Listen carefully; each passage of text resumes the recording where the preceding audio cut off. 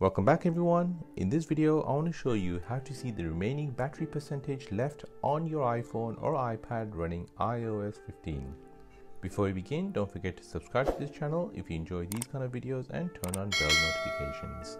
If this video helps you out, then please hit that like button and let me know in the comment section down below. So having this icon on your battery doesn't really tell much as you don't know if this is 100% or 95%. To accurately tell how much battery percent you have left in iOS 15, there are two ways to show that. The first way is to drag down the control center and you'll be able to see how many percent your battery is currently at. The second way is by adding a battery widget to your home screen.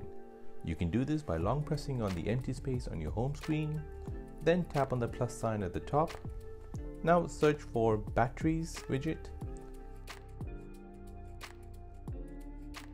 select the first one by one widget or if you have multiple devices then select the other format ones. Tap on add widget and move it wherever you like. Now using this widget you can check your iPhone battery percentage and that is how to see the battery percentage on your iPhone or iPad running iOS 15.